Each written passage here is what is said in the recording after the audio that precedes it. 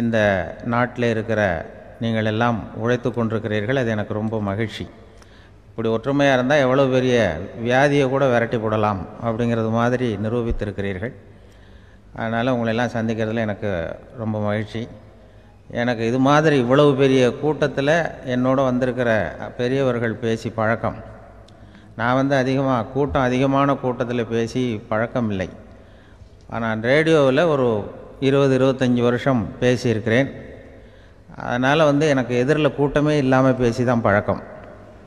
அது வெறும் மைக்கு மட்டும் இருக்கணும் எதிரில் யாரும் இருக்கக்கூடாது.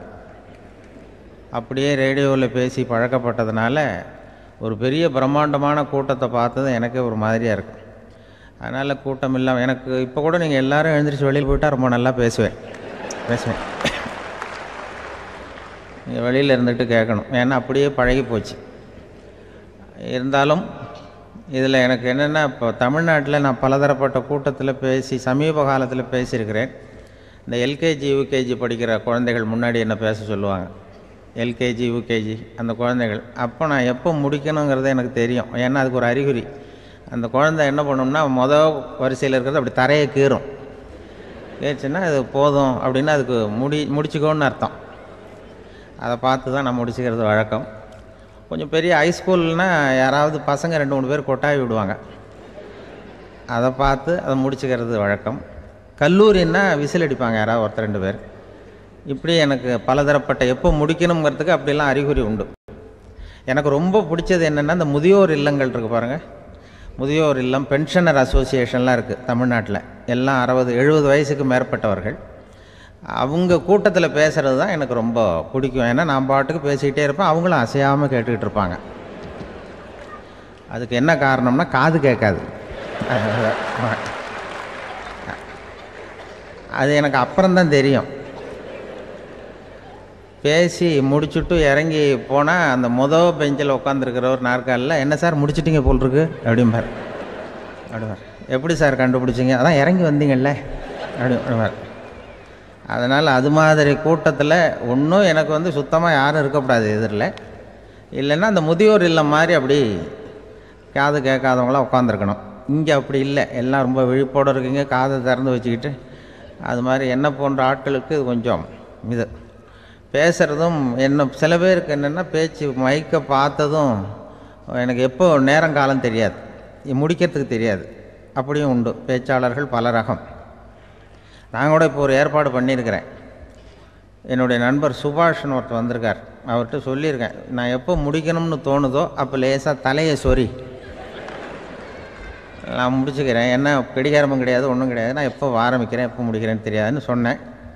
இதே மாதிரி கும்பகோணத்தில் சமீபத்தில் ஒரு கூட்டத்துக்கு போகும்பொழுது அந்த ஏற்பாட்டாளரை உட்கார வச்சு நீ முடிக்கணும்னு தோன்றப்ப தலையை சொரிய நான் புரிஞ்சுக்கிறேன்னு. சொல்லிவிட்டு பெரியோர்களே தாய்மார்களேன்னதும் உடனே தலையை சொன்னாங்க என்னையா அது உள்ளேன்னா இல்லை இது தலை அரிக்குது அதனால் சொல்லிடுறேன். நீ வந்து அது அது வேறு மாதிரியாக சொல்லுவேன்னு சொன்னார். அப்படி ஒருத்தர் ஏற்பாடு பண்ணி உட்கார வச்சுருக்கேன் எதிரில். அவர் இன்னும் தலைக்கு கையை கொண்டு போகல முதல் வரிசையில் உட்கார வச்சுருக்கிறேன். ஏன்னா இந்த பேசுகிறவங்களுக்கு அந்த கூட்டம் வந்து பார்த்துட்டா முடிக்கிறது எப்போ முடிக்கிறது என்ன ஏதுன்னு தெரியாது. அது பேச்சாளர் ஒரு பேச்சாளர் அவர் பாட்டு பேசிகிட்டே இருந்தாராம். ரொம்ப நேரம் பேசிகிட்டு இருந்திருக்கார். பேசிகிட்டு இருந்தால் ஒன்றும் புரியல. நேரங்காலம் தெரியல. அவருக்கே தோணி ஒரு கட்டத்தில் அந்த பேசுகிறவருக்கு ஐயா மன்னிச்சுக்கோங்க நான் வந்து ரொம்ப நேரம் பேசிட்டேன் போல் இருக்கு எவ்வளோ நேரம் பேசினேன்னு எனக்கே ஞாபகம் இல்லை. இந்த கை கடிகாரத்தை கூட பார்க்க மறந்துட்டேன். என்னை மன்னிச்சுக்கோங்க அப்படின்னாரா. அப்போ கோபமாக ஒருத்தர் எழுந்திரிச்சு ஏன்யா கடிகாரத்தை தான் மறந்தேன் பின்னாடி மாட்டிருக்கிற காலண்டரையாவது பார்க்கக்கூடாதா அப்படின்னாரான் அப்போ தான் தெரியுது அவன் வாரக்கணக்கில் பேசிக்கிட்டு இருந்திருக்கான். போன வெள்ளிக்கிழமை ஆரம்பித்து இந்த சனிக்கிழமை முடிக்கிறது மாதிரி. அப்படி ஆகிடும் என்ன கிடைக்காரமும் கிடையாது. அது மாதிரி அந்த பேசுகிற பேச்சு வந்து ஆனால் பேசுனா வந்து என்ன சொல்லுவாங்கன்னா எந்த பேச்சை கேட்டாலும் ஒரு தன்னம்பிக்கை வரணுமா? கேட்குறவங்களுக்கு. அதுதான் நல்ல பேச்சு அப்படின்னு சொல்லுவாங்க. கேட்குறவங்களுக்கு ஒரு தன்னம்பிக்கை வாழ்க்கையில் ஒரு பிடிப்பு வரணும் தன்னம்பிக்கை வரணும். அப்படிப்பட்ட எண்ணத்தில் தான் அவங்கெல்லாம் நல்ல கருத்துக்களை சொல்ல வந்திருக்கிறாங்க. அது என்னென்னா ஒரு ஒரு ஒரு ஒரு இளைஞன் வந்து எங்கெங்கேயோ வேலை தேடி இருக்கான் வேலையே கிடைக்கல. உடனே ஒரு தண்டவாளத்தில் போய் தற்கொலை பண்ணி ஒன்று தண்டவாளத்தில் தலையை வச்சு படுத்துட்டானான் யாரும் வேலை கொடுக்கல. தண்டவாளத்தில் போய் தற்கொலை பண்ணி எடுத்து படுத்துருக்கான். அப்போ ரெண்டு பக்கமும் திரும்பி பார்க்குறான் ரயிலே வரல. என்னடா தற்கொலை பண்ணால் கூட ரயில் வர மாட்டேங்குது அப்படின்னு சொல்லிட்டு பார்த்துருக்கேன் யாரோ ஒருத்தர் பேசிகிட்டு இருக்கார் ஒரு திடலில் கூட்டம். பெரியவர் பேசிகிட்டு இருக்கார். நம்ம அந்த பெரியவர் போய் கொஞ்ச நேரம் அந்த கூட்டத்தையாவது கேட்டுட்டு வருவோம். ரயில் வர்ற பாட்டை காணும். அப்புறம் வந்து தலை வச்சு படுத்துக்குவோம். அப்படி நேராக அந்த கூட்டத்துக்கு போனால் ஒரு திடலில் ஒரு பெரிய மனுஷன் பேசிகிட்டு இருக்கார். தன்னம்பிக்கை வாழ்க்கையில் வந்து இளைஞர்கள் ரொம்ப தன்னம்பிக்கையோடு இருக்கணும். அப்படி இப்படின்னு பேசிகிட்டு இருக்கார். இவன் போய் உட்காந்து கேட்டான் இந்த இளைஞன். ஒரு மணி நேரம் கேட்டான். ரெண்டாயிரம் பேர் உட்காந்து கேட்டுக்கிட்டு இருந்தாங்க. உடனே முடிஞ்சு பே கூட்டம் முடிஞ்சது. கூட்டம்லாம் கலைஞ்சு போச்சு. அந்த பெரியவர் பேசிக்கிட்டு இருந்தாரே அவரை போய் இவன் சந்தித்தான் இளைஞன் ஐயா நான் வந்து தற்கொலை பண்ணிக்கணுங்கிற எண்ணத்தோடு வந்தேன். தண்டவாளத்தில் தலையை வச்சு படுத்தேன். ரயில் வரல. அந்த நேரம் உங்கள் பேச்சு குரல் தான் கேட்டுது. நான் வந்து உங்கள் பேச்சை கேட்டேன். ஒரு மணி நேரம் கேட்டேன்.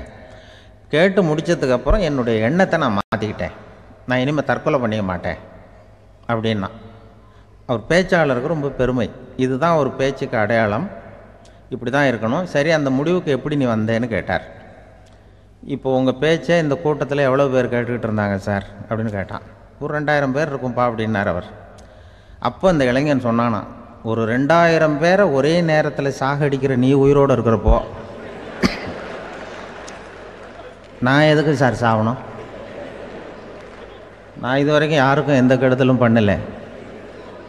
நான் இனிமேல் சாக மாட்டேன். சார்ட்டு போயிட்டானா. அப்படி கேட்குறவங்களுக்கு ஒரு தன்னம்பிக்கை வரணும். அது வந்து எப்படியோ வந்தால் போகிறோம் இப்போ எங்கள் பேச்சை கேட்டுவிட்டோம் அந்த ரகத்தில் வந்தாலும் சரி தான். வாழ்க்கையில் ஒரு பிடிப்பு வரணும் அப்படிங்கிறது தான் ஒரு சிறந்த பேச்சுக்கு அடையாளம்னு சொல்லுவாங்க. அப்படி வந்து அது பண்ணுறது இதில் என்னென்னா இந்த மனிதனுக்கு வந்து அந்த சிரிப்பு இருக்குது பாருங்கள் அதை பற்றி சொல்லுவாங்க. நகைச்சுவை குடும்பத்தில் வந்து நகைச்சுவை உணர்வு இருந்ததுன்னா குழப்பமே வராதுன்னு சொல்லுவாங்க. இந்த பேச்சாளர்கள் என்னென்னா சில பேர் தெளிவாக அதாவது தெளிவாக பேசி குழப்புறவங்க இருக்கிறாங்க. குழப்பமாக பேசி தெளிவுபடுத்துகிறவங்க இருக்கிறாங்க. அப்படிப்பட்ட பேச்செல்லாம் உண்டு. குழப்பமாக பேசி தெளிவுபடுத்துறது யாருன்னா சித்தர்கள். நம்ம பழைய சித்தர் பாட்டெல்லாம் பார்த்திங்கன்னா படிக்கிறதுக்கு குழப்பமாக இருக்கும். குழப்பமாக இருக்கும். ஆனால் அது கருத்து தெளிவாக இருக்கும். அதுதான் குழப்பமாக பேசி தெளிவுபடுத்துகிறவரெல்லாம் பழைய நம்ம சித்தர்கள். தெளிவாக பேசி குழப்புறவங்க இருக்கிறாங்க சில பேச்சாளர்கள். பேச்சாளர் இருக்கா? ஒருத்தன் ஆடு மேய்ச்சிக்கிட்டு இருந்தானா ஒரு ஆடு மேய்ச்சிக்கிட்டு இருந்திருக்கிறான் ஒரு திடலில். அந்த ஆடு மேய்க்கிற அந்த ஆள் வந்து ரொம்ப தெளிவாக பேசணும்னு நினைக்கிறவன். அவர்கிட்ட போய் கேட்டிருக்கான். அந்த ஆள்கிட்ட போய் ஒருத்தன் கேட்டான் மந்தையில் எத்தனை ஆடுப்பா இருக்குது ஒன்று அப்போ அவன் சொன்னான் நான் ஆடு மேய்க்கிறேன். சார் எதையும் தெளிவாக கேட்கணும். நீ கருப்பாட்டை கேட்குறியா வெள்ளாட்டை கேட்குறியா? அப்படின்ட்டுருக்கான். கருப்பாடு அது ஒரு ஐம்பது இருக்குது அப்படின்னா சரி வெள்ளாடு எத்தனை இருக்குது அப்படின்னா அதுவும் ஐம்பது தான் இருக்குது அப்படின்ட்டுருக்கான்.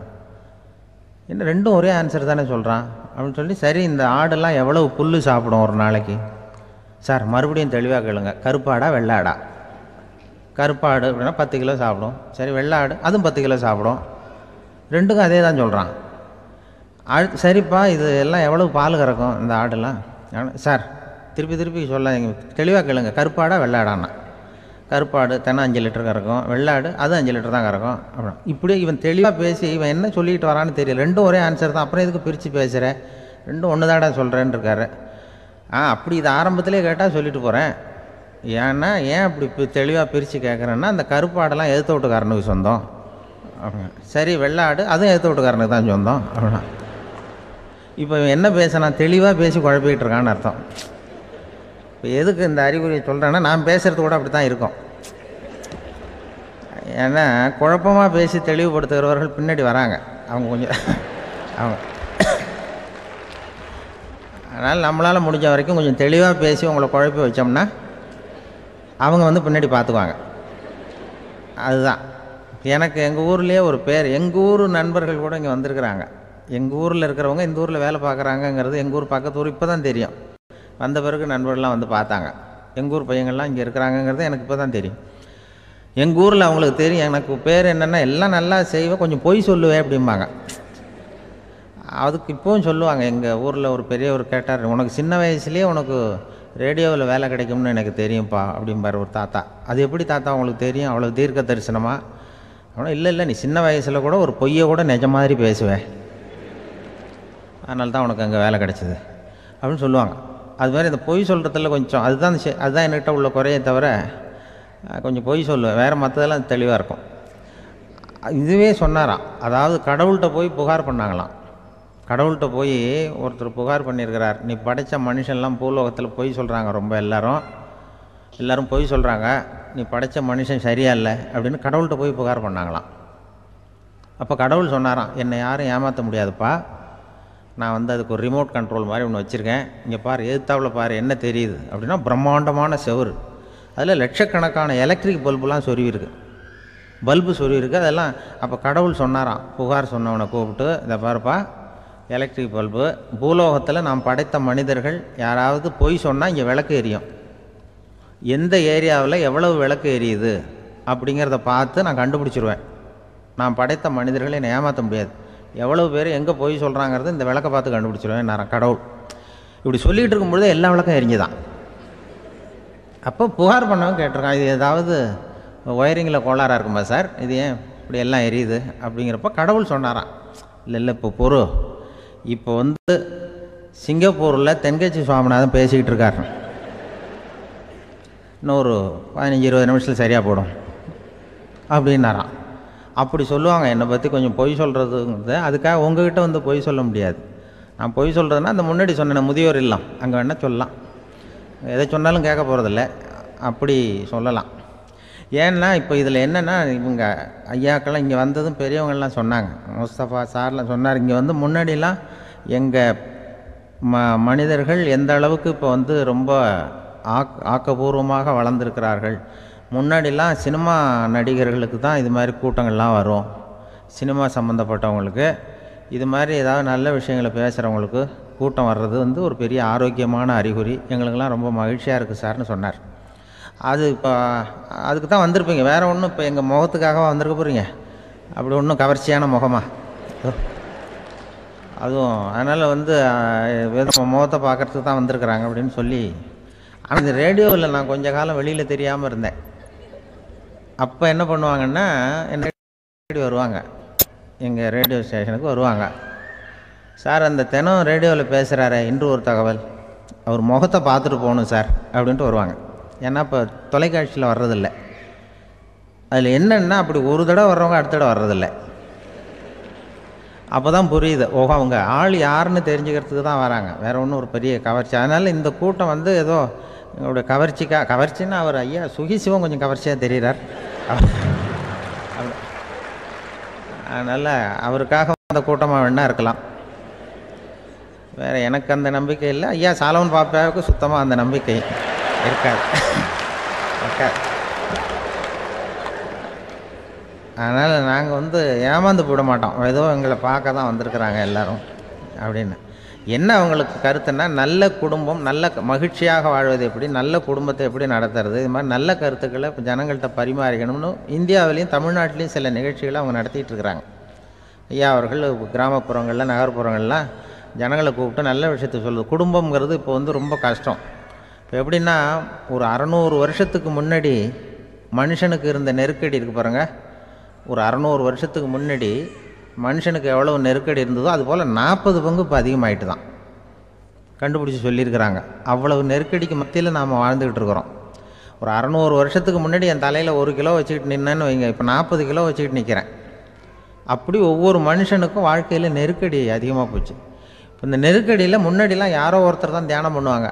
தியானம்னா ஒருத்தர் ரெண்டு பேர் காட்டுக்கு போய் தியானம் பண்ணிகிட்டு இருப்பாங்க. அறநூறு வருஷத்துக்கு முன்னாடி. இப்போ வீட்டுக்கு வீடு தியானம் நடக்குது. ஏன்னா அந்தளவுக்கு வாழ்க்கையில் ஒரு நிம்மதி வேணும் அப்படின்னு சொல்லி பண்ணிட்டாங்க. அதுக்கு தான் இயற்கை கொடுத்துருக்கிற ஒரு இயற்கையான வைத்தியம் தான் சிரிப்புங்கிறது. இதை பற்றி பெரியவங்கள்லாம் இப்போ ஆராய்ச்சி பண்ணிகிட்டு இருக்கிறாங்க. சிரிப்புங்கிறது நாம் பிறந்து ஒரு ஆறு மாதத்தில் தான் முதல் தடவையாக விவரமாக சிரிக்க ஆரம்பிக்கிறோமா. நம்ம பிறந்து ஆறு ஆறு அதாவது ஆறு மாதத்துக்கு அதாவது முதல் தடவை சிரிக்க ஆரம்பிக்கிறது ஒரு ஆறாவது வாரம் ஒன்றரை மாதத்தில் தான் குழந்தை வந்து விவரமாக சிரிக்க ஆரம்பிக்குது. அப்புறம் அப்படியே சிரிக்க ஆரம்பிக்கிறோமா? அதையெல்லாம் இப்போ கணக்கு எடுத்துருக்குறாங்க. ஒரு குழந்தை ஒரு நாளைக்கு இரநூறு தடவை சிரிக்குதான். ஒரு குழந்தை. பெரியவங்கள்லாம் பதினஞ்சு தடவை சிரிக்கிறாங்களாம். இரநூறு தடவை சிரிச்சுக்கிட்டு இருந்த நாம அப்படியே குறைச்சி குறைஞ்சி குறைஞ்சி குறைஞ்சி பதினஞ்சு ஆயிட்டு.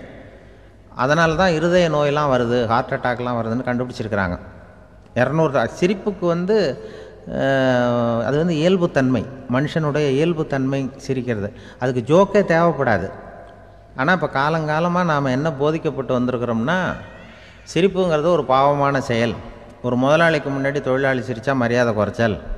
ஒரு கணவனுக்கு முன்னாடி மனைவி சிரித்தா மரியாதை குறைச்சல். அது மாதிரி ஒரு வாத்தியாருக்கு முன்னாடி பையன் சிரித்தா மரியாதை குறைச்சல் ஒரு ஆஃபீஸருக்கு முன்னாடி பியூனு சிரித்தா மரியாதை குறைச்சல் இப்படின்னு சொல்லி சொல்லி சிரிப்புங்கிறது ஏதோ மரியாதை குறைவான செயல்னு காலங்காலமாக நாம் போதிக்கப்பட்டு வந்திருக்கிறோம். இப்போ மரபு ரீதியாகவே அந்த சிரிப்பு வந்து நம்மகிட்ட சிறைப்பட்டுருக்கு தான் அடங்கி போச்சு. அந்த சிறைப்பட்டு இருக்கிற சிரிப்பை வெளியில் கொண்டு வர்றதுக்கு தான் ஜோக்குன்னு ஒரு சாவியை போட வேண்டியிருக்கு. வேறு இந்த ஜோக்குக்கும் சிரிப்புக்கும் சம்மந்தம் இல்லை. அதை ஏற்கனவே இருக்கிறத வெளில கொண்டு வரதுக்கு ஒரு சாவி மாதிரி உபயோகப்படுதுன்னு இப்போ அதை பற்றி ஆராய்ச்சி பண்ணுறவங்களாம் சொல்கிறாங்க ஏன்னா சிரிப்புக்கு ஜோக்கு தேவைப்படாது. இப்போ ஒரு குழந்தை தொட்டிலில் படுத்துருக்குன்னு வைங்களேன். குழந்தை தொட்டிலில் இருக்குது அது முகத்துக்கிட்ட போய் ஒரு கிளுகிழுப்பி ஆட்டுங்க சிரிக்கும். அந்த கிளுகிழுப்பை சத்தமே சிரிக்க வைக்கிறதுல அதுதான் மனுஷனுடைய இயல்புத்தன்மை. அது என்ன ஜோக்காது சத்தம். ஒரு கிளுகிழுப்பையை கொண்டு போய் குழந்தை முகத்துக்கிட்ட ஆட்டினா சிரிக்குதே. அதுதான் இயல்புத்தன்மை. அதே கிளுகிழுப்பையை ஒரு தாத்தா மூஞ்சிக்கிட்ட ஆட்டுங்க கோவம் வந்துடும் அடிக்க வருவார். என்னடா விளையாட்டு இது மாதிரி ஏன்னா அவர் சிரிச்சுக்கிட்டு இருந்தவர் அப்படி இருந்தவர் ஒரு காலத்தில். ஒரு கிளுகிழுப்புக்கு சிரித்தவர் ஒரு காலத்தில் இப்போ கோவப்படுறாருன்னா அந்த அளவுக்கு நம்ம மாறி போயிட்டே வந்துக்கிட்டு இருக்கிறோம். அதனால் வந்து அந்த இயல்புத்தன்மை மாறாமல் இருக்கணுங்கிறது ரொம்ப முக்கியம். அதுக்காக எல்லோரையும் குழந்தையாக்க முடியாது. மனுஷன் வந்து எல்லோரும் இனிமேல் வந்து வயசுங்கிறது கூட ஆகிட்டே தான் இருக்கும். அதுக்காக குறைச்சிக்கிட்டே போக முடியாது. அதுக்கு யாராவது மருந்து கண்டுபிடிச்சாதான் உண்டு. ஆனால் ஒருத்தர் மருந்து கண்டுபிடிச்சாராம். சொல்லுவாங்க. ஒரு டாக்டர் வந்து ஒரு மாத்திரை கண்டுபிடிச்சாராம். ஒரு மாத்திரை சாப்பிட்டா ஒரு வயசு குறையும். ஒரு மாத்திரை சாப்பிட்டா ஒரு வயசு குறையும் அப்படின்னு ஒரு மாத்திரையை கண்டுபிடிச்சிருக்காரு. ஒரு பாட்டி அம்மா தொண்ணூறு வயசு பாட்டி அது போயிருக்கு. அதே டாக்டர்கிட்ட போய் ஐயா எனக்கு ஒரு பாட்டில் மாத்திரை கொடுங்க. இந்த வயசு குறைய குறையிற மாத்திரை அப்படின்றது அவர் ஒரு பாட்டில் கொடுத்தாரு மாத்திரை. இந்த பாரும்மா பாட்டியம்மா ஒரு மாத்திரை சாப்பிட்டா ஒரு வயசு குறையும். எடுத்துகிட்டு போகணும்னு கொடுத்துருக்காரு டாக்டர் இந்த தொண்ணூறு வயசு பாட்டி எடுத்துகிட்டு வீட்டுக்கு வந்துட்டுது. வந்துட்டு மறுநாள் அதே டாக்டர்கிட்ட போயிருக்கு. முப்பது வயசு பொண்ணாக போச்சான் முப்பது வயசு பொண்ணாக மாறி அதே டாக்டர்கிட்ட போயிருக்கு. இடுப்பில் ஒரு கை குழந்தை. அது சட்டை கிட்ட போடாமல் கெட்டவரில் வாயில் வச்சுட்டு உட்காந்துருக்கு நேராக டாக்டர்கிட்ட போய் டாக்டர் நேற்று வந்தேன். ஏதோ ஒரு மாத்திரை சாப்பிட்டா ஒரு வயசு குறையுன்னீங்க நான் ஏதோ ஒரு ஆர்வத்தில் ஒரு முப்பது நாற்பது மாத்திரை சாப்பிட்டேன் இப்படி ஆகிட்டேன் அப்படின்னு இப்போ டாக்டர் சொல்லியிருக்காரு. இதுக்கு ஏமா வருத்தப்படுற? எல்லாரும் வந்து வயசு குறையணும்னு தான் நினைக்கிறாங்க. உனக்கு வயசு குறைஞ்சிட்டுது நீ சந்தோஷப்படு. இதுக்கே மறுபடியும் என்னட்ட வந்திருக்கிற? அப்படின்னாரான் டாக்டர். அப்போ அந்த அம்மா சொல்லித்தான் என்னை பற்றி பரவாயில்ல டாக்டர். என் இடுப்பில் பாருங்கள் கை குழந்தை. இது சட்டை கிட்ட போடாமல் உட்காந்துருக்கு கட்டவரில் வாயில் வச்சுட்டு உட்காந்துருக்கு இது ரொம்ப ஆர்வத்தில் ஒரு எழுபது மாத்திரையை சாப்பிட்டு விட்டுது. இது என் வீட்டுக்காரர்.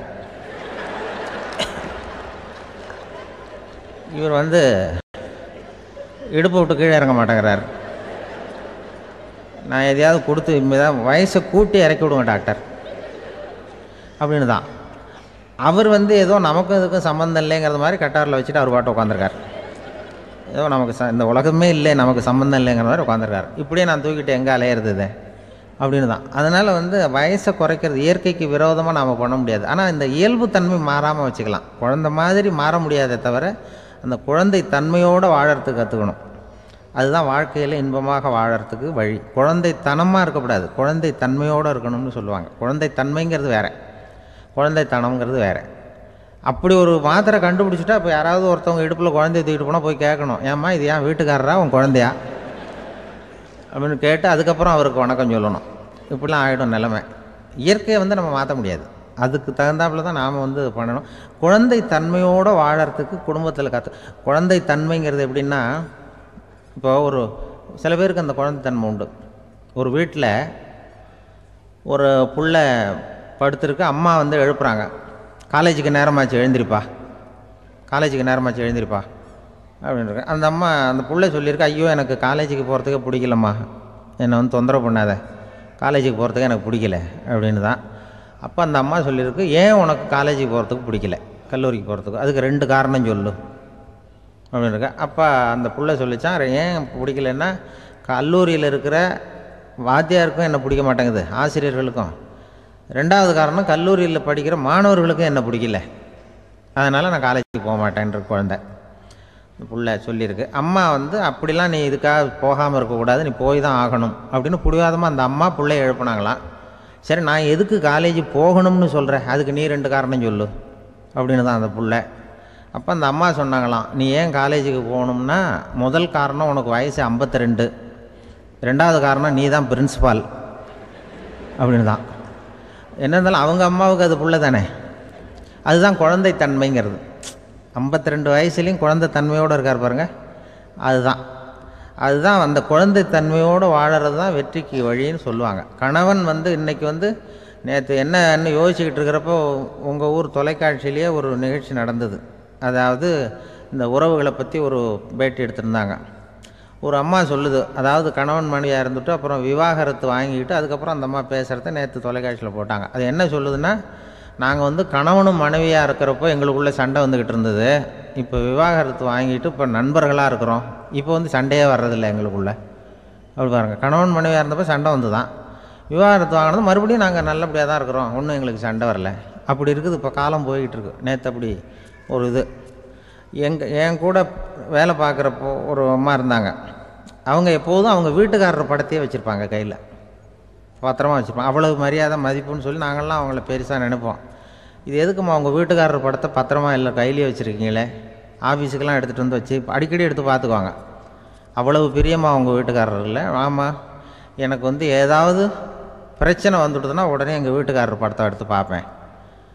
பரவாயில்லையே இப்படி ஒரு இதாக ஆமாம் இதை பார்த்துட்டு நினச்சிக்குவேன். இதை விட பிரச்சனை வேறு என்ன இருந்துட போகுது உலகத்தில்?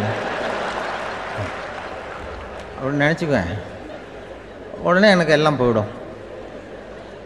அப்படின்ட்டு தான். அப்படி ஒரு அம்மா இருந்தாங்க. இப்போ இருக்காங்க. வேலை பார்த்துக்கிட்டு இருக்காங்க. அப்படிலாம் நீங்கள் இங்கே இருக்கிற தாய்மார்கள் பெண்கள் யாராவது அப்படி கூட பண்ணலாம். யாரா? எப்போதுமே உங்கள் வீட்டுக்காரர் படத்தை கையில் வச்சுக்கோங்க. அது ஒரு யோசனை. குடும்பம் குதூகலமாக இருக்கிறதுக்கு அது ஒரு யோசனை. அதே மாதிரி இவங்களும் அவங்க படத்தை வச்சுக்கலாம். வச்சுக்கிட்டு பிரச்சனை வரும்பொழுது பார்த்துக்கணும். இதை விட நமக்கு என்ன வந்துட போகுது பெருசாக அப்படி அப்படி தான் இருக்கணும். குடும்பம் வந்து நல்லபடியாக இருக்கணும்னா அதுக்கு இப்போ சொல்லுவாங்க. கடவுளே வந்து ஒரு ஒரு வீட்டு கணவன் வீட்டு க வீட்டு தலைவர் கனவில் வந்தாராம் கடவுள். வந்து இது மாதிரி உன்னை விட்டுட்டு உங்கள் குடும்பத்தை உன்னையெல்லாம் விட்டுட்டு போக போகிறேன்னா அதனால் ஏதாவது வரம் வேணும்னா கேட்டு போய் வாங்கிக்கோ அப்படின்னு கடவுள் சொன்னாராம் அந்த குடும்ப தலைவர்கிட்ட. அவருக்கு என்ன கேட்குறதுன்னு புரியல. கடவுள் வந்து விட்டுட்டு போகிறேங்கிறார் ஏதாவது வரம் கேட்டுக்கோ. அப்படின்னு நம்ம என்ன பண்ணுறது என்ன கேட்குறதுன்னு ஒன்றும் புரியல. குழம்பிக்கிட்டு இருந்தான் அந்த ஆள். கனவுல. இப்போ கடவுள் சொன்னாரா சரி நீ ரொம்ப குழப்பமா இருக்க. நாளைக்கு மறுபடியும் உன் கனவில் வரேன். அதுக்குள்ளே நீ முடிவு பண்ணி வை. உனக்கு என்ன வரம் வேணுமோ கேட்டு வாங்கிக்கோ. உனக்கு வரம் கொடுத்துட்டு நான் போயிடுறேன். உன்னை விட்டுட்டு போகிறதா நான் முடிவு பண்ணிட்டேன். அப்படின்ட்டு கடவுள். சரி ஒரு நாள் அவகாசம் கொடுங்க. நாளைக்கு நான் அதுக்குள்ளே முடிவு பண்ணி வைக்கிறேன்ட்டு அவர் வந்தார். மறுநாள் முடிச்சுக்கிட்டார். முடிச்சுக்கிட்டு மனைவி மகன் மக்கள் எல்லாரையும் கூப்பிட்டார் குடும்பத்தில் எல்லாரையும். இப்படி வாங்க. இது மாதிரி நேற்று கனவுல வந்தார் கடவுள். நம்மளை விட்டுட்டு போக போகிறாராம் என்ன வரம் வேணும்னு கேட்டு வாங்கிங்கோ அப்படின்னு போய் சொல்லிட்டார். என்ன கேட்குறதுண்ணா அப்படின்னு அந்த கணவன் கேட்குறான் இந்த மனைவி சொல்கிறாங்க என் உடம்பு பூரா நகையாக இருக்கணும். அப்படின்னு கேள். அப்படின்ட்டுருக்கு. அதுக்குள்ளே அந்த பொண்ணு ஒரு பொண்ணு ஓடி வந்து அப்படிலாம் கேட்காதப்பா. கடவுள்கிட்ட இப்போ இருக்கிற சொத்து எவ்வளோ இருக்கோ அதுபோல் இன்னொரு பங்கு வேணும்னு கேள். அப்படின்னு அந்த பையன் வந்து அவன் வேற சொன்னான். அவன் அது எனக்கு நமக்கு வந்து இது போல் ஒரு பத்து பங்காவது வேணும் ரெண்டு பங்களா கார் வேணும் அப்படின்னு அவன் ஒரு லிஸ்ட்டை கொடுத்தான். இவர் என்ன கேட்குறதுன்னு முடிவு பண்ணுறதுக்குள்ள அங்கே வேலை செய்கிற அம்மா ஒரு வயசான அம்மா வந்திருக்கு. வேலை செய்கிற அம்மா. அது வந்து சொல்லிச்சான். இவர்கிட்ட தப்பாரு கடவுள்கிட்ட அப்படிலாம் கேட்காதப்பா. நாளைக்கு வரும்பொழுது என்ன வர வேணும்னா எங்கள் குடும்பத்தில் எல்லாரும் அன்பாக இருக்கணும் பாசமாக இருக்கணும்னு கேட்டு வாங்கிக்கோ வரத்தை. அன்பு பாசம் குடும்பத்தில் எப்போதும் நிலவணும்னு கேட்டு வாங்கிக்கோ. வேறு எல்லாம் நம்ம பார்த்துக்கலான்னு இந்த பெரியம்மா சொல்லிச்சான். மறுநாள் அதே மாதிரி படுத்து தூங்கினார். கடவுள் கனவுல வந்தார். வந்து கேட்கும்பொழுது இவர் சொன்னாராம் ஐயா எனக்கு வந்து எங்கள் குடும்பத்தில் நாங்கள் கணவன் மனைவி புள்ள குட்டி எல்லாம் பாசமாக இருக்கணும் அன்பாக இருக்கணும். இதுதான் எங்களுக்கு வர வேணும் அப்படின்னு கேட்டாராம். இவர் கேட்டதும் கடவுள் வந்து தலையை சொரிய ஆரம்பிச்சிட்டாராம். ஏன் என்ன யோசிக்கிறீங்கன்னு கேட்டிருக்காரு. நீங்கள் அன்பாக பெரியம்மா இருந்தீங்கன்னா அப்புறம் ஏன் நான் உங்களை விட்டுட்டு போக போகிறேன் நான் ஏற்கனவே இல்லைங்கிறதுனால தான் உங்களை விட்டு போகலாம்னு முடிவு பண்ணியிருந்தேன். இப்போ நீங்கள் ஏற்கனவே பாசமாக இருந்தீங்கன்னா நான் இனிமேல் போக மாட்டேன். அதனால் ஏன் முடிவும் மாற்றிக்க வேண்டியதுதான். உங்கள் கூட தான் இருக்க போகிறேன்னாராம் இப்படி ஒரு கதை சொல்லுவாங்க. அதனால் ஒரு குடும்பத்தில் அந்தந்த உறவு முறைகள் சரியாக இருக்கிற வரைக்கும் எல்லாம் நல்லாயிருக்கும் அங்கே தான் அங்கே இறைவன் வாழும் இல்லம்ங்கிறாங்களே அதுதான். அது அதில் அந்த குடும்ப தலைவருங்கிறவர் கணவன் அப்படிங்கிறதுனால அவருக்கு தான் பொறுப்பு. அவருக்கு நிறைய சகிப்புத்தன்மை வேணும். கோபம் வரக்கூடாது யார் என்ன சொன்னாலும் போன சில கணவன்மார்கள் வந்து எது சொன்னாலும் மனைவி வந்து தட்டுறதில்ல. அங்கே போனால் போவாங்க. எதுக்கு போக சொல்கிறேன்னு கேட்குறதில்ல போகிறது இங்கே வான்னா வர்றது. திருவள்ளூர் மனைவி இருந்தாருன்னு சொல்கிறாங்கல்ல அது மாதிரி. அது எப்படின்னா ஒருத்தர் சொன்னார் அது அப்படி இல்லை அதுக்கு ஒரு கதை சொன்னார். ஹிட்லர் வந்து வந்தாராம் ஒரு தடவை ஒரு பெரிய கப்பல் மேலே. கப்பலுடைய மேல் தளத்தில் ஹிட்லர் வந்துக்கிட்டு இருக்கார். ஒரு இங்கிலீஷ் கேப்டன் எதிரில் நிற்கிறான் அவனுக்கு பெரிய ஆச்சரியம். இந்த ஆள் எப்படி இப்படி ஒரு தனி மனிதனாக இருந்துக்கிட்டு உலகத்தையே இப்படி க இந்த பாடுபடுத்துகிறார் அப்படின்னு சொல்லி உன்னுடைய வெற்றிக்கு என்ன காரணம்னு கேட்டாராம் அந்த இங்கிலீஷ் கேப்டன். இப்போ ஹிட்லர் சொன்னாராம் என்னுடைய வெற்றிக்கு காரணம் என்கிட்ட வேலை செய்கிற ஊழியர்கள். நான் கிழிச்ச கோட்டை தாண்ட மாட்டாங்க. நான் என்ன சொல்கிறேனோ அதை உடனே செய்வாங்க. ஏன் எதுக்குன்னு எதிர்த்து பேச மாட்டாங்க. அதுதான் என்னுடைய வெற்றிக்கு காரணம். அப்படின்னு சொல்லி அதை நிரூபித்து காட்டுறேன் பார் அப்படின்னு சொல்லி கையை தட்டினாராம் ஹிட்லர். உடனே ஒரு சிப்பா எங்கேருந்து வந்து லெஃப்ட் ரைட் லெஃப்ட் ரைட் போட்டு வந்து சல்யூட் பண்ணி நிறுத்தினான் நின்னான். உடனே ஹிட்லர் சொன்னார் நீ அப்படியே இந்த கப்பல் மேல் தளத்துலேருந்து அப்படி கடலில் விழுந்து செத்து போடா. அப்படின்னு பொத்துன்னு குதிச்சுட்டான். எதுக்கு சொல்கிறேன் என்ன இதில் உடனே குதிச்சு செத்து போட்டான். இவருக்கு பெரிய ஆச்சரியம். கேப்டனுக்கு ஹிட்லர் சொன்னார் இதுதான் என்னுடைய வெற்றி காரணம். தப்பார் இன்னொருத்தனை கூப்பிட்றேன். அப்படின்னு தட்டினா இந்த பக்கத்துலேருந்து ஒருத்தன் வந்தான். லெஃப்ட் ரைட் லெஃப்ட் ரைட் வந்து நின்னா நீ இப்படி குதிச்சு செத்து போடா. அப்படின்னு பொத்தனை குதிச்சிட்டான். எதுக்கு போக சொல்கிறீங்கன்னு ஒன்றுமே கேட்கல. குதினா உடனே குதிச்சிட்டான். அப்போ ஹிட்லர் சொன்னார் இதே மாதிரி என்னுடைய ஒவ்வொரு ஊழியர்களும் இருக்கிறாங்க. நானும் ஊழியர்களை இழக்கிறதுக்கு தயாராக இல்லை. தப்பார் தயாராக இருப்பேன் எப்போதும். தப்பார் இன்னொருத்தரம் தட்டுறேன்னு இன்னொருத்தர் வந்தார். எதிர்த்தாவில் இருந்து ஒருத்தன் left right left right salute அடித்தான் நீயும் குதிச்சு செத்து போடான்ருக்கார் ஹிட்லர். இவனால் பொறுக்க முடியல இந்த இங்கிலீஷ் கேப்டன் அனாவசியமாக ஒவ்வொருத்தனாக குதிச்சுட்றானேன்னு சொல்லி ஓடி போய் அவனை குதிச்சிட்டான். குதிக்கிறதுக்கு முன்னாடி பிடிச்சி தனியாக எடுத்துகிட்டு போயிட்டான். தனியாக எடுத்துகிட்டு போய் அந்த சிப்பாய்கிட்ட கேட்டாரான் அந்த இங்கிலீஷ் கேப்டன் ஏன்ப்பா அந்த ஆள் குதிக்க சொல்கிறான்னா நீ ஏன் எதுக்குன்னு கேட்குறது இல்லையா? உடனே குதிச்சு செத்து போகிறீங்களே இதெல்லாம் என்ன அநியாயம்? அப்படின்ட்டு இருக்கான் அந்த இங்கிலீஷ் கேப்டன் கையை பிடிச்சிக்கிட்டு உடனே அந்த சிப்பாய்க்கு கோவம் வந்துட்டு தான் உடையா கையை இவன்ட்ட வேலை பார்க்குறத விட உழுந்து செத்து போகலான்னு நான் குதிக்கிறான். நீ என்ன அனாவசியமாக எதுக்கே இருக்க சொல்கிறேன் அப்படின்னு சொல்லி குதிச்சுட்டானா. அதனால் இந்த உடனே சொல்கிறத செய்கிறாங்க பாருங்கள் அவங்கள நம்பக்கூடாது கணவன்மார்களுக்கு ஒரு எச்சரிக்கை. சொல்கிறத உடனே செஞ்சுருவாங்க மனைவி. நீ அங்கே போனால் போங்க வரணும் வரணும் அது ஹிட்லர் மாதிரி நினைக்கிறாங்கன்னு அர்த்தம். இதுகிட்ட பேசிக்கிட்டு இருக்கிறத விட சொல்கிறத செஞ்சுட்டு போடுவோமே. அப்படி சமாளிக்கிற கணவன்மார்கள் உண்டு. குடும்பத்தில் வந்து அப்படிலாம் இருந்து சமாளிக்கிறாங்க. குடும்பத்தில் ஒருத்தர் ஒருத்தர் அனுசரிப்பு தன்மைங்கிறது ரொம்ப அவசியம். கணவன் மனைவின்னா அனுசரித்து போகணும்னு சொல்லுவாங்க. அதாவது ஒரு கணவன் மனை அதுக்காக தான் அந்த காலத்துலலாம் ஒரு வீட்டுக்கு வந்து மாப்பிள்ளை தேடுறதுங்கிறது ஒரு பெரிய குடும்பத்தை நிர்வகிக்கிற அளவுக்கு ஒரு கணவனாக வரக்கூடிய எப்படி இருக்கணும்? அப்படின்னா அந்த காலத்தில் புலி வேட்டைக்கு போகணும். ஒரு பொண்ணுக்கு மாப்பிள்ளை தேடுறதுன்னா நம்ம தமிழ் தமிழ் பழக்கம் என்னென்னா காட்டுக்கு போய் ஒரு புலியை வேட்டையாடிட்டு வரணும். அந்த புலி பல்லு அல்லது நகத்தை கொண்டுட்டு வரணும் அந்த இளைஞன். அதை வந்து வீட்டில் கொடுப்பான். அதை தான் கட்டி அதை வந்து தா இதாக கட்டுவாங்க. மாலையாக போடுவாங்க தாலியாக கட்டுவாங்க. அதாவது வீரம் இருக்கா? பையனுக்குன்னு பார்ப்பாங்க. ஒரு பொண்ணு வேணும்னா நீ முதல்ல வீட்டுக்கு பொண்ணு கேட்க போகக்கூடாது. காட்டுக்கு போகணும். போய் புளியை கொண்டு வா. அதுக்கப்புறம் தான் உனக்கு பொண்ணு அப்படின்னு சொல்லுவாங்க. இப்போவெல்லாம் ஏன் போகிறது இல்லைன்னா இப்போவெல்லாம் இப்போ ஒருத்தனை வந்து காட்டுக்கு போய் புலிப்பல் கொண்டு வரனா புலி தான் மாப்பிள்ளையாக வரும். அதனால தான் இப்போ போகிறதில்ல யாரும். காட்டுக்கு அப்போ வந்து பெண்களும் வந்து ரொம்ப வீரமாக இருந்தாங்க. அப் பெண்கள் மூலம் அந்த காலத்தில் எப்படின்னா முறத்தாலேயே புலியை துரத்துவாங்களாம். நம்ம பழைய பாட்டிலெல்லாம் பார்த்துருப்பீங்க. முறத்தால் புலியை விரட்டினாங்கன்னு வரும். பழைய பாட்டு. ஒரு அந்த அளவுக்கு பெண்களுக்கு வீரம். இப்போ கல்யாணம் ஆகி இந்த காலத்தில் ஒரு ஒரு கணவனை வந்து விரட்டிட்டு வந்தாங்களாம். முறத்தை எடுத்துக்கிட்டு ஒரு மனைவி. அவன் பயந்துட்டு வெளில ஓடி வரான். பின்னாடி முறத்தை எடுத்துகிட்டு அந்த அம்மா ஓடி வருது. இவனை தனியாக பிடிச்சி கொண்டு போய் என்னப்பா இந்த மனைவிட்டு இப்படி பயந்து ஓடி வரிய முறத்தால் துரத்துறா இப்படி வரியே? அப்படின்னா அவன் அப்படியே தடுமாறிக்கிட்டு அதெல்லாம் ஒன்றும் இல்லை. அவன் என்னை புலியாக நினைக்கிறா? அப்படின்னு ஒரு பெருமையாக சொல்லிட்டானான் அந்த காலத்தில் புலியை தான் முறத்தால் விரட்டினாங்க. இப்போ புருஷனை விரட்டுறாங்க அப்படின்னு சொல்லி. அப்படி அந்த காலத்தில் வந்து கணவனுக்கு ஒரு குடும்பத்தை நிர்வகிக்கிற திறமை இருக்கா? உடல் வலிமை தான் முக்கியம். இப்போ கூட மதுரை பக்கத்தில் ஐயாவுக்கு தெரியும். அந்த இளவட்டக்கல்லுன்னு ஒரு ஊர். ஊருக்கு ஊர் ஊர் எல்லையில் கிடக்கும். ஊர் எல்லையில் ஒரு பெரிய கல் கிடக்கும். அந்த அந்த ஊருக்கு பொண்ணு கேட்க போகிறவங்க அந்த கல்லை தலைக்கு மேலே தூக்கி காட்டணும். அப்படியே தூக்கி தலைக்கு மேலே வசதி கீழே போடணும். அந்த வ- வலு இருந்தால் தான் நீங்கள் அந்த ஊருக்குள்ளேயே போகலாம். பொண்ணு கேட்கறதுக்கு போகலாம். இல்லைன்னா நீ திரும்பி போக வேண்டியதான் அந்த வலிமை இருக்கா மாப்பிள்ளைன்னு பார்க்குறாங்க. இளவட்டக்கல்லுன்னு பேர். அப்போ என்ன பண்ணாங்கன்னா ஒரு ஆயிரம் வருஷத்துக்கு முன்னாடி அந்த கல்லை தலைக்கு மேலே தூக்கி கீழே போடுவாங்களாம். ஒரு ஐநூறு வருஷத்துக்கு முன்னாடி அப்படி கொஞ்சம் தூரம் இடுப்பு அளவுக்கு தூக்கி கீழே போட்டுக்கிட்டு இருந்துருக்குறாங்க. அதுக்கப்புறம் ஒரு நூறு வருஷத்துக்கு முன்னாடியெல்லாம் அப்படி முழங்கால் அளவுக்கு அப்படி தூக்கி போட்டால் போகிறோம்னு வச்சுருந்தாங்களாம். இப்போ நான் அந்த ஊருக்கு என் கூட பழனிசாமின்னு ஒருத்தர் இருக்கார். அவர் போய் உனக்கு எப்படிப்பா இந்த ஊரில் கல்யாணம் ஆச்சு? அப்படின்னா இப்போலாம் நாங்கள் தொட்டு கும்பிட்டா போகிறோம் அதை அசைக்கிறது கூட இல்லை. அப்படி ஆகிட்டுது ஒரு குடும்பத்தை கணவனாக வரப்போகிறவனுக்கான தகுதி அந்த காலத்தில் அப்படி இருந்துதான். அப்படி வந்து இப்போ கணவன் வந்து தேர்ந்தெடுக்கிறது குடும்ப தலைவனை தேர்ந்தெடுக்கிறது ஒரு பெரிய காரியம். ஒரு பெரிய செல்வந்தர் போட்டி வச்சாராம். ஒரு நீச்சல் குளம். அதில் யார் வேணாலும் குதித்து அந்த பக்கம் போய் கரையேறலாம். அந்த நீச்சல் குளத்தில் விஷப்பாம்புலாம் கிடக்கு. யார் துணிஞ்சு அந்த விஷப்பாம்பு இருக்கிற குளத்தில் குதித்து அந்த பக்கம் போய் கரையேறானோ அவனுக்கு ஒரு நூறு ஏக்கர் நிலம் கொடுப்பேன்.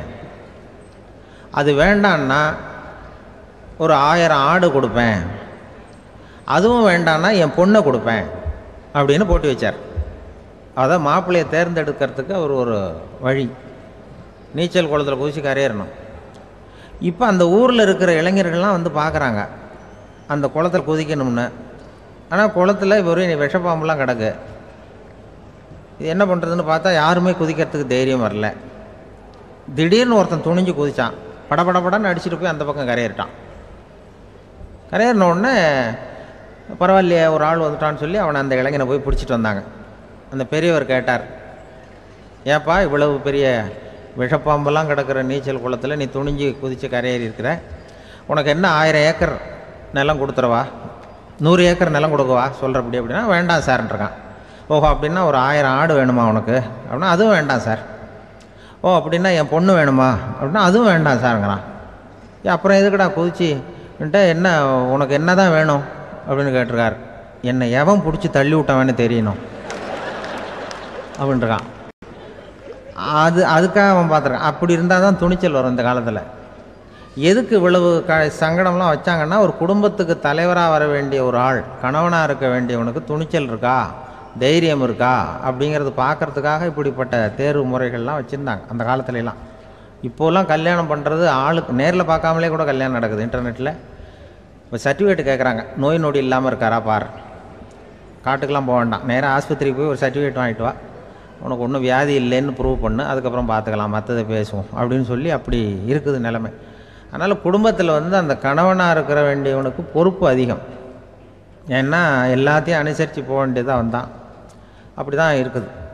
அந்த கணவன் மனைவிக்குள்ளே விட்டு கொடுக்குறது அதெல்லாம் பற்றி நிறைய எல்லாரும் ஏற்கனவே நம்ம புலவர்கள்லாம் பாடியிருக்காங்க எல்லோரும் சொல்லுவாங்க ஒரு கணவன் ஒரு குழந்தை பிறந்து தான் ஒரு வீட்டில் அந்த குழந்தைக்கு என்ன பேர் வைக்கிறதுங்கிறது ஒரு தகராறு. இந்த குழந்தைக்கு என்ன பேர் வைக்கிறதுங்கிறதுல தகராறு வந்துடுது. யார்? கணவனுக்கும் மனைவிக்கும். அவன் என்ன சொல்கிறான் எங்கள் அப்பா பேரை தான் வைக்கணுங்கிறான் அவன். இந்த அம்மா என்ன சொல்லுது? இல்லை எங்கள் அம்மா எங்கள் அப்பா பேரை தான் வைக்கணும். அப்படிங்குது. காலையிலேருந்து சண்டை தகராறு. எதிர்த்த வீட்டுக்காரன் பார்த்தான். இது என்ன காலையிலேருந்து எதிர்த்த வீட்டில் தகராறு நடக்குது? என்னென்னு போய் கேட்டிருக்கான். என்னம்மா உங்களுக்கு உள்ள தகராறு? காலையிலேருந்து பார்த்தேன் அப்படின்னா ஒன்றும் இல்லைம்மா. எங்கள் குழந்தைக்கு பேர் வைக்கிறதுல எங்களுக்கு உள்ளே ஒத்து போக முடியல. நான் வந்து எங்கள் அப்பா பேரை வைக்கணுங்கிறேன். அந்த அம்மா அவங்க அப்பா பேரை வைக்கணுங்குது. அதுதான் எங்களால் குடும்பத்தில் ஒரு நிம்மதி இல்லாமல் இருக்கிறோம் தகராறு பண்ணிகிட்ருக்கோம் அப்படின்னு நானா. அப்போ எதிர்த்த வீட்டுக்காரன் சொல்லியிருக்கான். எதிர்த்த வீட்டுக்காரன்னு நான் எதுக்கு இருக்கிறேன்? நான் பஞ்சாயத்து பண்ணி வைக்கிறேன். இப்போ உங்களுக்குள்ள என்ன இது பேர் தானே வைக்கணும்? ஏன்பா உங்கள் அப்பா பேர் என்ன? அப்படின்னு அவனை கேட்டிருக்கான். எங்கள் அப்பா பேர் சீனிவாசன் அப்படின்ட்டுருக்கான் இந்த அம்மாவை உங்கள் அப்பா பேர் என்னம்மா? கிருஷ்ணன் அப்படின்னு சொல்லி இவன் யோசிச்சு பார்த்தான். குழந்தைக்கு சீனிவாச கோபாலகிருஷ்ணன்னு பேர் வைங்க போங்க அப்படின்ட்டு போயிட்டான் ஏற்ற விட்டு தீர்த்து வச்சுட்டு போயிட்டான். போனதுக்கப்புறம் இவங்க ரெண்டு பேரும் பேசிக்கிட்டாங்க. சரி இந்த சீனிவாசன் சரி கிருஷ்ணன் சரி நடுவில் கோபாலன் யார்? அப்படின்னு சொல்லி அவனை போய் இழுத்துட்டு வந்தான். எழுத்து வீட்டில் போய் அது யார் அது இங்கே வா. அது யாரா கோபால? ஆனால் அது எங்கள் அப்பா பேர். நீ அதை மட்டும் எதுக்கு விட்டு வைக்கிற? அதையும் சேர்த்து வச்சுட்டு போடான் நான் அதாவது குடும்பத்தில் வந்து ஒரு கணவனும் மனைவியும் ஒரு சின்ன விஷயத்தில் கூட ஒத்து போகலன்னா இப்படி தான் ஏற்று விட்டுக்காரன் பஞ்சாயத்துக்கு வருவான். கோபாலன் வந்து குறுக்க வருவான் ஒருத்தன். அப்படி அந்த அனுசரிப்புங்கிறது குடும்பத்தில் ரொம்ப அவசியம். கணவனும் மனைவி.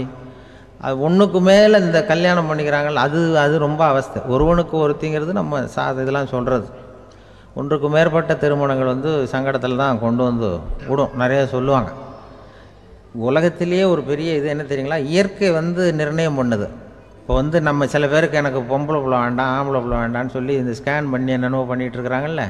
ஆனால் இயற்கை வந்து அந்த ஐம்பது ஐம்பது ரேஷியோவை அது வந்து மெயின்டைன் பண்ணிகிட்ருக்கு இந்த உலகத்தில் ஒரு அதிசயமான உண்மை என்னென்னா நூற்றி பதினாறு ஆம்பளை பிள்ளை பிறந்தா நூறு பெண் பொம்பளை பிள்ளை பிறகுதான். உலக அளவில் நூற்றி பதினாறு ஆம்பளை பிள்ளை பிறந்தா நூறு பொம்பளை பிள்ளை பிறக்குது. இது எதுக்கு பதினாறு அதிகமாக பிறக்குதுன்னா அந்த வாலிப வயசு அடையிறதுக்குள்ளே பதினாறு செத்து போகுது. பதினாறு அங்கங்கே ஓடுறது கொஞ்சம் முரட்டத்தனமாக போகிறதுனால செத்து போகுது. அந்த ஐம்பது ஐம்பது இந்த ஒருத்தருக்கு ஒருத்தங்கிற ரேஷியோவை இயற்கை வந்து மெயின்டைன் பண்ணிகிட்டு இருக்கு. அது ஒரு பெரிய அதிசயம். அதை விட பெரிய அதிசயம் என்னென்னா இந்த உலக யுத்தம் நடந்ததில்ல. முதல் உலக யுத்தம் ரெண்டாவது யுத்தம்.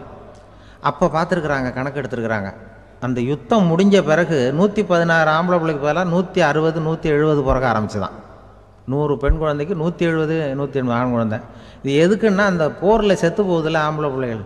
அதை ஈடுகட்டுறதுக்காக அதிகமாக பிறக்க ஆரம்பிச்சிருக்கு. அந்த அளவுக்கு வந்து இயற்கை வந்து ஒரு பெரிய ரேஷியோவை மெயின்டைன் பண்ணுது. அதாவது ஒருவனுக்கு ஒருத்திங்கிறத அது சொல்லிகிட்டு இருக்கு. புறாவெல்லாம் வளர்த்திங்கன்னா நான் கூட புறா வளர்த்துருக்குறேன் ஊரில். புறா வளர்த்திங்கன்னா ஒரு ஒரு தடவைக்கு ரெண்டு முட்டை தான் விடும். ஒரு வீட்டுக்கு. அந்த ரெண்டு முட்டையும் குஞ்சு பறிச்சுன்னா அதில் ஒன்று வந்து ஆணாக இருக்கும் ஒன்று பொண்ணாக இருக்கும்.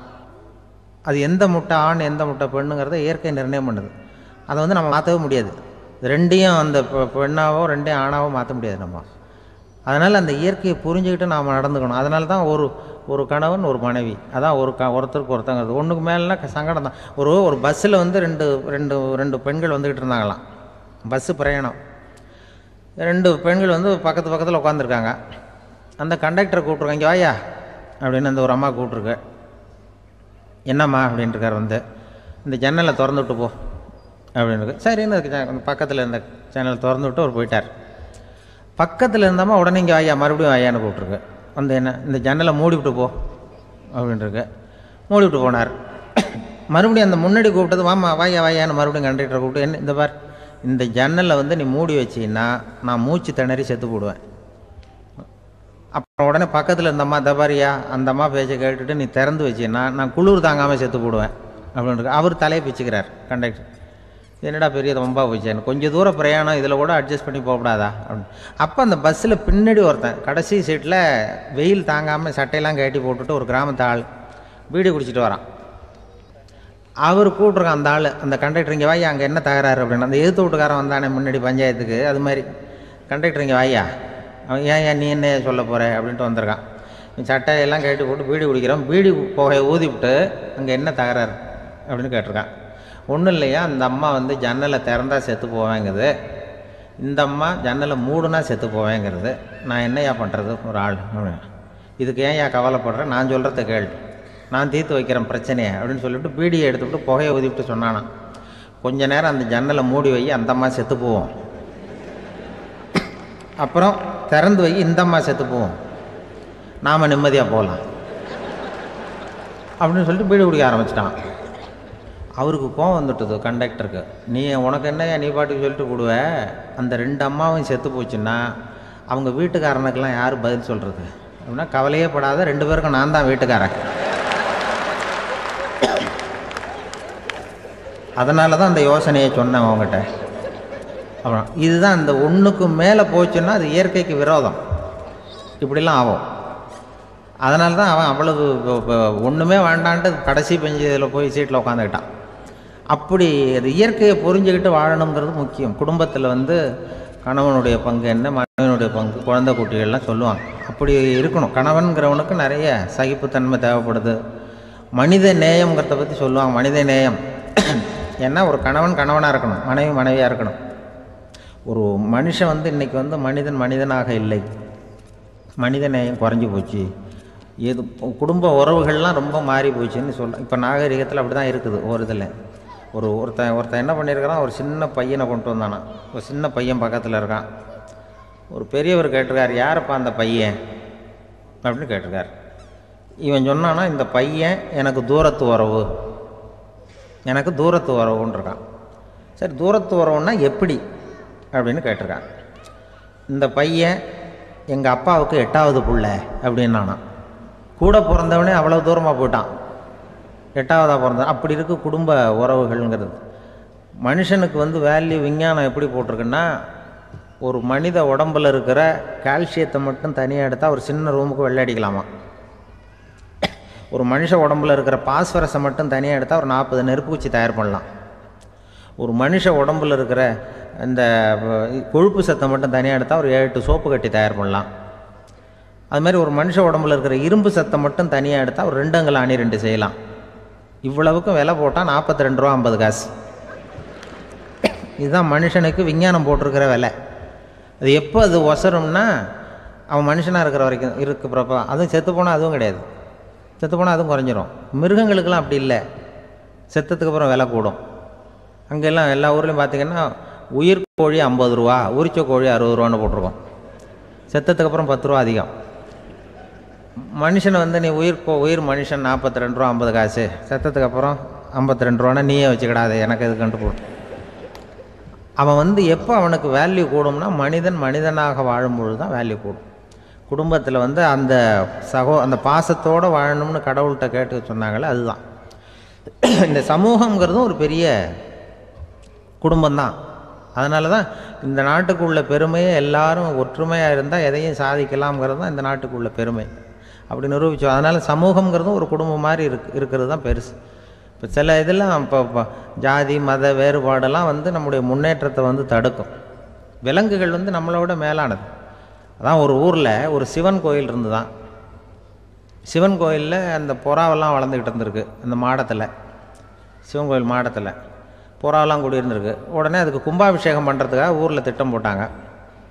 சிவன் கோயிலுக்கு வெள்ளடிக்க ஆரம்பித்தாங்க வர்ணம். வர்ணம் பூச ஆரம்பித்ததும் அந்த அதுக்கு சாரம் கட்டுவாங்கல்ல இந்த குச்சிலாம் வச்சு சாரம் கட்டுவாங்க.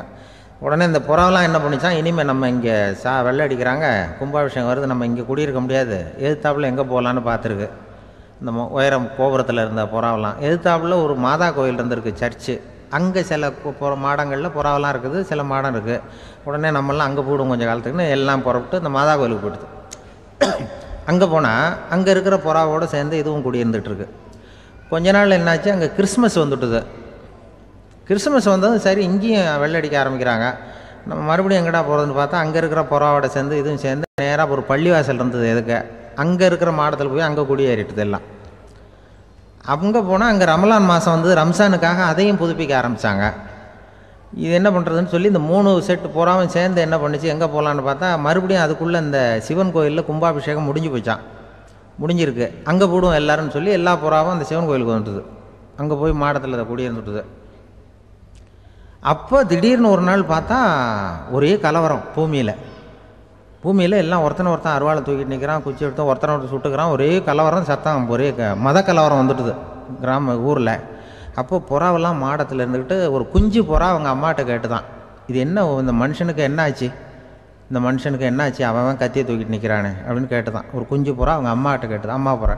இப்போ அம்மா அந்த புறா சொல்லிச்சான் மனுஷனுக்கு இப்போ மதம் பிடிச்சிருக்கு. அதான் கத்தியை தூக்கிட்டு நிற்கிறான் அப்படின்ட்டுருக்கு இப்போ நமக்கெல்லாம் பிடிக்கலையே அப்படின்னு தான் அப்போ அந்த புறா சொல்லிச்சான் அந்த பாருமா நாம் வந்து இந்த சிவன் கோயிலில் இருந்தாலும் நமக்கு புறான்னு தான் பேர். இந்த மாதா கோயிலுக்கு போனாலும் நமக்கு புறான்னு தான் பேர். பள்ளிவாசலுக்கு போனாலும் நமக்கு புறான்னு தான் பேர். அந்த மனுஷன் அப்படி இல்லை. அவன் இங்கே இருக்கிற வரைக்கும் இந்துன்னு சொல்லுவான். அங்கே மாதா கோயில் இருந்தான்னா கிறிஸ்தவன்னு சொல்லுவான். பள்ளிவாசலில் இருந்தான்னா முஸ்லீம்னு சொல்லுவான். அப்போ இப்போ குஞ்சு புறா அது என்ன இப்படி பண்ணுறாங்க மனுஷங்க? இப்போ அவங்கள விட நம்ம வசதி போல் இருக்க நம்ம தேவலாம் போல் இருக்க அப்படின்னு தான் அந்த குஞ்சு புறா. அப்போ அந்த தாய் புறா சொல்லித்தான் உண்மைதான். அதனால தான் நம்ம மேலான இடத்துல இருக்கிறோம். அவன் கீழே நிற்கிறான் இன்னமும். அப்படின்னு சொல்லிச்சான். இதுதான் அந்த குடும்பம்ங்கிறது. சமுதாயம்ங்கிறது ஒரு பெரிய குடும்பம். அது அந்த புறாகிட்டேருந்து மனுஷன் கற்றுக்க வேண்டியிருக்கு. அப்படி இருக்குது இன்றைக்கி மனுஷனுடைய நிலைமை. அதை வந்து புரிஞ்சுக்கணும். அப்படி தான் ஒவ்வொரு இதுலேயும் நாம் வந்து நடந்து கொள்ள வேண்டியிருக்குது.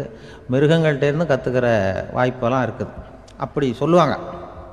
அந்த இதில் வந்து நம்ம குடும்பத்தில் வந்து என்னென்னா இப்போ இந்த பிள்ளைகளை பற்றி சொல்லுவாங்க. ஒரு இப்போ ராமர் லட்சுமணர் கதை சொல்லுவாங்க. அதாவது ராமரும் பரதனும் பந்து விளையாடிக்கிட்டு இருந்தாங்களாம் சின்ன வயசில்.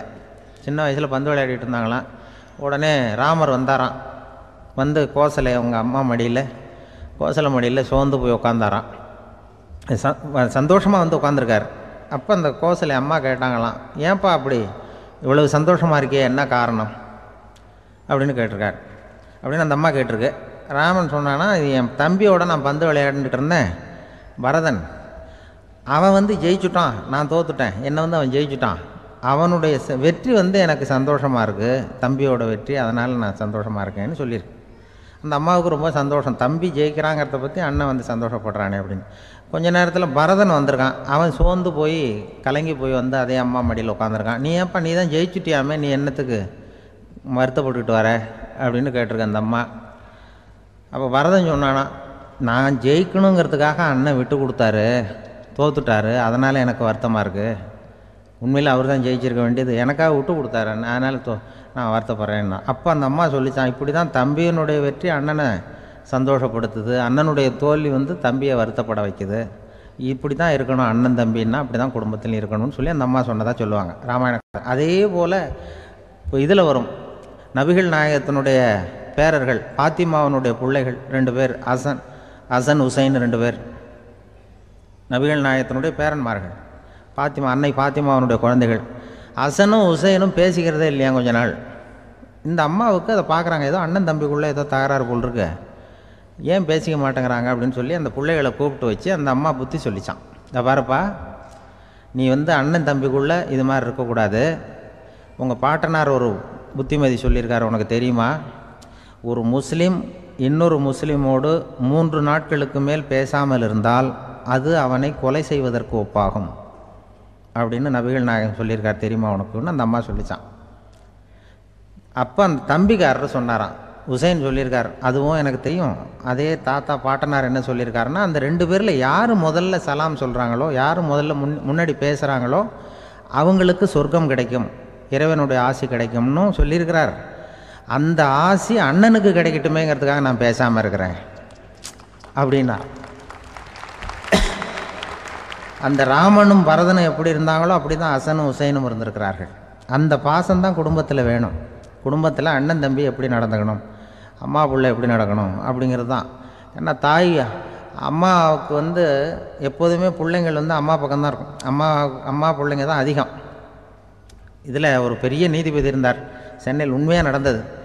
சென்னையில் ரொம்ப காலத்துக்கு முன்னாடி காந்தி இருந்த காலத்தில் சென்னையில் ஒரு நீதிபதி. அவர் ஒரு நாள் நீதி கோர்ட்லாம் விட்டு ரொம்ப கஷ்டப்பட்டு ராத்திரி சும்மா போய் உடனே வீட்டுக்கு வரல. கோர்ட்டினுடைய நடவடிக்கை முடிஞ்சு வீட்டுக்கு வராமல் போய் எங்கெங்கேயோ போய் சுற்றிவிட்டு அந்த நண்பர்களோடு அப்படி உல்லாசமாக அப்படி கொண்டாடி விட்டு ராத்திரி நடு ராத்திரிக்கு வந்திருக்கிறாரு வீட்டுக்கு ஒரு மணிக்கு. அப்போ அந்த வயசான அம்மா வாசல்லையே காத்துக்கிட்டு இருக்கு. உள்ளே போச்சு நீதிபதி இன்னும் வந்து சேரலேன்னு வாசல்லே நின்றுட்டு இருந்துதான். அப்போ அது வந்த உடனே பலார்னு அரைஞ்சு விட்டாங்களாம் அந்த அம்மா. ஏன்டா அவ்வளோ தூரம் எங்கே போனேன் என்ன தான் நீதிபதியாக இருந்தாலும் அவங்களுக்கு புள்ள தானே? பலார்னு அரைஞ்சு விட்டாங்க. உடனே அவர் கலங்கி போய் அழுதாராம். அழுதாராம். மறுநாள் கேட்டிருக்காங்க அந்த பக்கத்தில் இருந்தவங்க ஏன் உன்னை வந்து பெரிய நீதிபதி பெரிய பதவியில் இருக்க அதனால் உன்னை உங்கள் அம்மா அடிச்சிட்டாங்கன்னு அழுதியா? அப்படின்னு கேட்டாங்களாம். அப்போ அவர் சொன்னாராம் நீதிபதி இல்லை நான் வந்து இது மாதிரி எங்கள் அம்மாக்கிட்ட அடிக்கடி அடி வாங்குவேன். எப்போதும் அவங்க அடிக்கிற அடி பலமாக விழும். இப்போ அவங்க அடித்தது எனக்கு வலிக்கவே இல்லை. அந்த அளவுக்கு அவங்களுக்கு வயசாகிட்டதே பலம் குறைஞ்சிட்டதேன்னு நினச்சி அழுதேன். அப்படின்னுக்காரான் அதுதான் புள்ள அம்மா பேரில் உள்ள பாசங்கிறது இதே போல் நான் சொன்னது மாதிரி முன்னாடி இவர் ஒரு இறைநேச செல்வர் ஒருத்தர் இருந்தார். ஒரு அம்மா வந்து எனக்கு அப்பா தண்ணி கொடுப்பா அப்படின்ட்டு படுக்கையில் இருந்த அம்மா. இவர் ஏதோ படிச்சுக்கிட்டு இருந்தவர் ஒரு சின்ன இளைஞர். ஒரு உடனே ஓடி போய் ஒரு குழலையில் தண்ணி எடுத்துகிட்டு போய் அம்மாவுக்கு முன்னாடி நிற்கிறார் முன்ன அந்த அம்மா அதுக்குள்ளே தூங்கி போச்சு. தூங்கி போச்சு. இவர் அந்த கொ தண்ணியை வச்சுக்கிட்டு அவர் பாட்டு நிற்கிறார் விடிஞ்சு போச்சு. விடிகிற சமயத்தில் அந்த அம்மா முடித்து பார்க்குது பையன் தண்ணியோட கையில் வச்சுட்டு நிற்கிறார் ஏம்மா என்னப்பா நீ ராத்திரி பூரா தண்ணியோடு நின்றுட்டு இருக்கிறியா எனக்கா அப்படின்னு அப்பா அந்த அவர் சொன்னாராம் ஆமாம்மா ராத்திரி தண்ணி தாகமாக இருக்குன்னு கேட்டிங்க உடனே தண்ணி கொண்டு வந்துட்டேன். ஓடி வந்து பார்க்கும்பொழுது நீங்கள் தூங்கிக்கிட்டு இருந்தீங்க. தூங்கிட்டு இருக்கும்பொழுது உங்களை எழுப்ப வேண்டாம் தூக்கத்தை கெடுக்க வேண்டாம்னு நான் நினச்சேன். அதனால் எழுப்பலை. தூக்கம் முழிக்கிற சமயத்தில் உடனே தாகமாக இருக்கும் தண்ணி குடிக்கணும்னு ஆசைப்படுவீங்க அதனால் தண்ணியை பக்கத்துலேயே வச்சுட்டு நிற்கிறேன் அப்படின்னு அந்த இளைஞர் சொன்னாராம். அப்படியே கட்டி பிடிச்சிட்டு நீ பிற்காலத்தில் பெரிய அறிஞராக வருவேன்னு சொல்லி அந்த அம்மா வரணும்னு சொல்லி இறைவனை வேண்டாங்களாம் அவர் தான் இஸ்லாமிய மார்க்கத்தில் தீன் மார்க்கத்தில் பெரிய ஆளானது. அதாவது ஷர்புதீன் யாஹ்யான்னு ஒருத்தர். அவர் பெரிய இஸ்லாமிய பேரறிஞராக வந்தார். இப்படி அம்மா பேரில் பாசமாக உள்ளவங்கள்லாம் இருந்தாங்க நிறையா. அப்படி அந்த குடும்பத்தில் வந்து அந்த பாசம் நேசம் எவ்வளவு இருக்கோ அவ்வளவுக்கு அவர்கள் உயர்வார்கள்ங்கிறது தான் நம்முடைய பெரிய இதெல்லாம். பெரியவங்கள்லாம் சொல்லியிருக்கிறது அதுதான். அதனால தான் அந்த கணவனுடைய பங்கு என்ன மனைவியினுடைய பங்கு என்ன பிள்ளைகளுடைய பங்கு என்னங்கிறத பற்றி ரொம்ப விவரமாக சொல்கிறதுக்காக தான் அதை பற்றி நாம் சிந்திக்க வேண்டிய நேரம் இதுங்கிறனால தான். கணவனுக்கு வந்து இது வந்துடக்கூடாது. அதாவது கோபம் வரக்கூடாது நிதானம் வேணும் அப்படின்னுலாம் சொல்லுவாங்க. நிதானம் கணவன் வந்து கோபப்படக்கூடாதுமா அதுக்கு நாங்கள் கோபம் மனுஷனுக்கு சினம் தவிர்த்தல்னு பயிற்சியெலாம் கொடுக்குறாங்க இப்போது மனுஷன் கோபப்படாமல் இருக்கணும் போகணும் வரணும். அதுக்கு சொல்லுவோம் நாங்கள் சும்மா கதை ரூபமாக சொல்கிறது அங்கே வேதாத்திரி மகரிஷின்னு இருக்கார். அவர் இதில் வந்து சினம் தவிர்த்தல்னு பயிற்சியை கொடுப்பாங்க. குடும்ப தலைவர்கள் பெரியவங்கள்லாம் வந்து வா- அந்த பயிற்சியை எடுத்துக்கணும். என்ன கூப்பிட்டாங்க ஒரு தரம்? சினம் தவிர்த்தல்னு ஒரு பயிற்சி கொடுக்குறோம் அதில் நீ வந்து பேசுன்னாங்க. நான் சொன்னேன் நான் பயிற்சிக்கு வேணா வரேன். என்னை பேச வேண்டாம் சார். நான் வந்து பயிற்சி கற்றுக்கிறேன்னு இல்லை இல்லை நீ அதெல்லாம் பயிற்சி நாங்கள் கொடுக்குறோம்.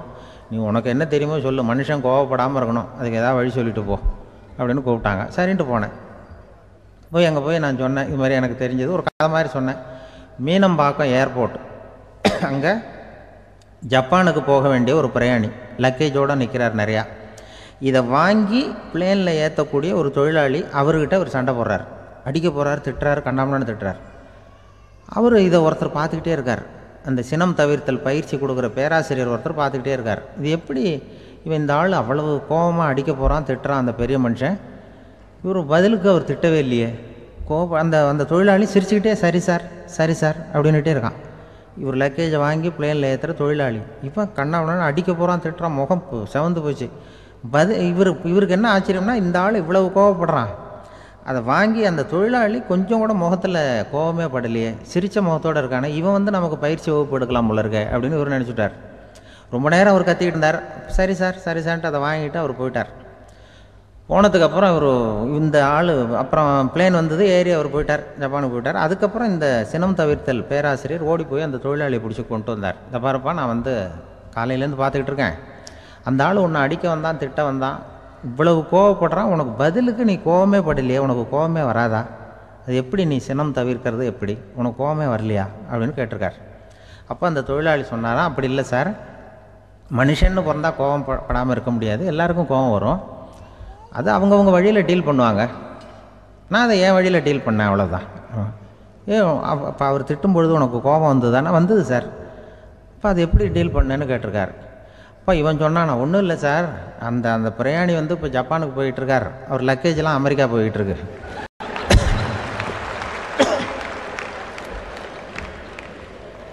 இதுக்கு நாம் எதுக்கு சார் அனாவசியமாக அவன்கிட்ட போய் சண்டை போட்டுக்கிட்டேன்?